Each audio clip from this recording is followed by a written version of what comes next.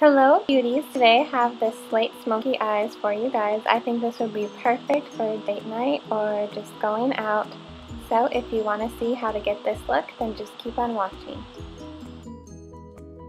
As always, I am starting off by priming my eyelids. Today I'm using the Wet n Wild Fergie Eye Primer and just applying that all over my lid and my lower lash line. I'm first going in with the color Orange Soda and just working that really lightly into the crease. This will be our transition shade, which means it will help the next colors that we apply to blend nice and seamlessly.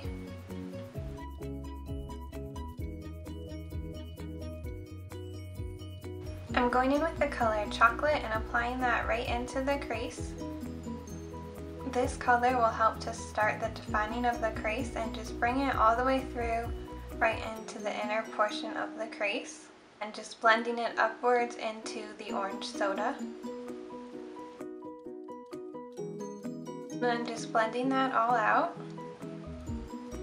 I'm using a clean blending brush to do this.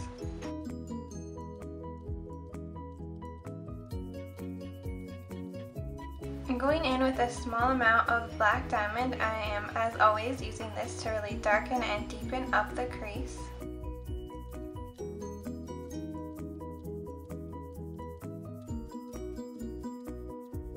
And then using that clean blending brush to blend it all out. I'm using some of orange soda to help blend everything even further.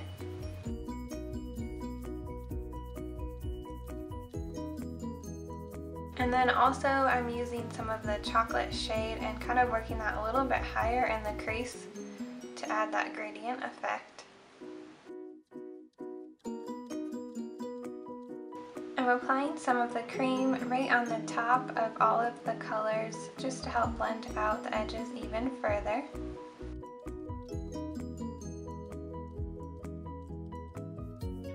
For the lid, I'm adding the e.l.f. glitter glue right on. And as you guys have noticed, this is just one of my favorite little tricks to make the eyeshadows more pigmented and more glittery. I sprayed my brush with some setting spray and then I dipped it into the color Slate and I'm going to be patting that right on top of the glitter glue.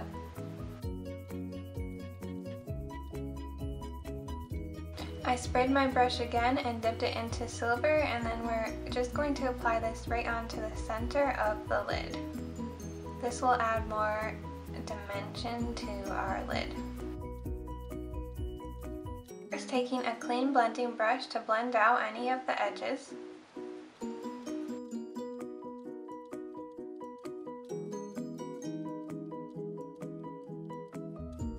And going in with black diamond to really deepen up the crease.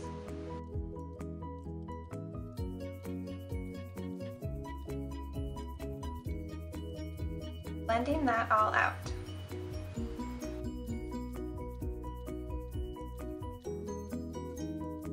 I'm taking a little bit more of the chocolate color and applying that right into the upper crease area just because I want this to be a little bit darker and less orangey.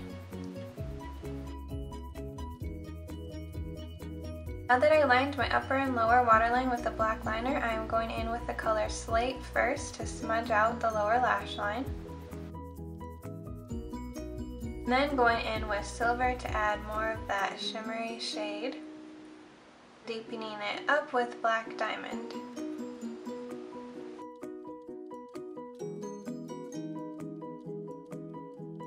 I'm using the black liner just to darken up the lower lash line a little bit more. I applied my winged liner and then now of course I have to bring out that silver NYX liner and I am applying that right onto the center of the lid where we applied that silver shadow just to make it even more glittery. I'm going to apply mascara and lashes and then I will be back with the lip color. Oh, and I almost forgot, I once I get the liner on, I like to go back in with the black diamond shade and apply that into the crease area to deepen it up a little bit more or blend out the edges.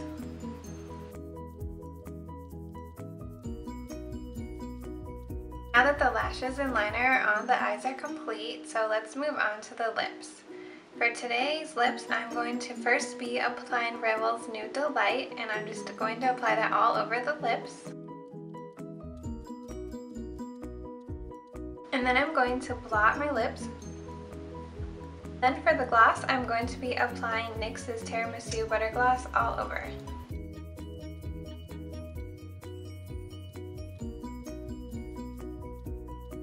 Alright, and here is the finished look. I hope you guys enjoyed and maybe learned something new today.